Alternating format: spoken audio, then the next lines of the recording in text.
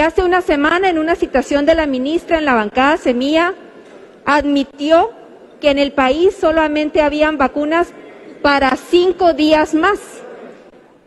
Y lo que nos ha salvado, entre comillas, es la donación de México que entró el jueves de la semana pasada.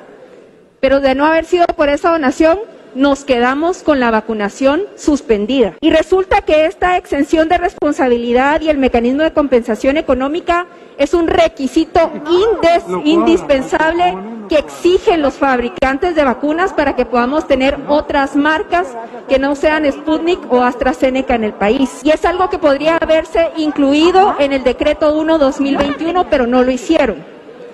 De esta cuenta ahorita estamos sin vacunas. El mecanismo COVAX tiene más de 300 mil dosis de Pfizer listas para ser enviadas al país desde hace más de dos semanas. No pueden ingresar si no llenamos estos requisitos. Estados Unidos ha ofrecido más de 1.5 millones de dosis como donación que no pueden ingresar si no llenamos estos requisitos. Y tampoco podemos continuar con las negociaciones bilaterales con Pfizer, Moderna, Johnson Johnson u otras marcas si no cumplimos con estos requisitos. Y el personal de los centros de vacunación ya está llamando desde la semana pasada para preguntar qué podemos hacer desde el Congreso para que tengan más vacunas para poder darle a la población. De esa cuenta es urgente y necesario que esta iniciativa se apruebe el día de hoy como urgencia nacional. Pero no nos confundamos.